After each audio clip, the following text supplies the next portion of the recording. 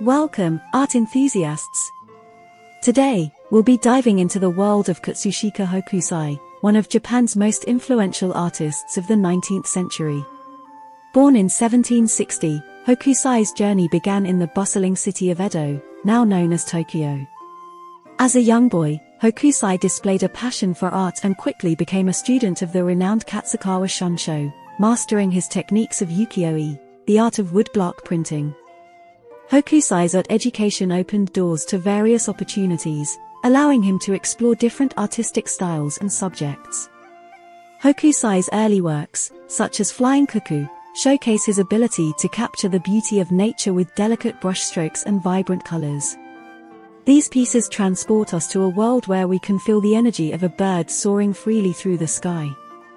During the 1810s, Hokusai embarked on a series called Various Scenes, which depicted different aspects of everyday life in Japan. From serene landscapes to bustling streets, these prints provided a glimpse into the vibrant culture of Edo society.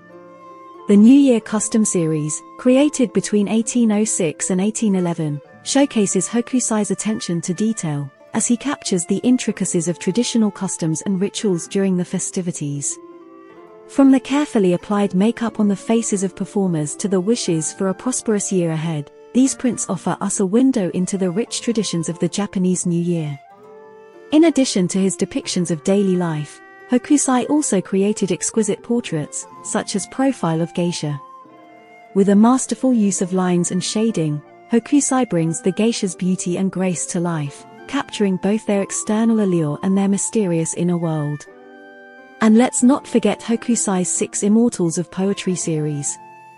In these prints, Hokusai pays homage to six renowned poets from Japan's literary history.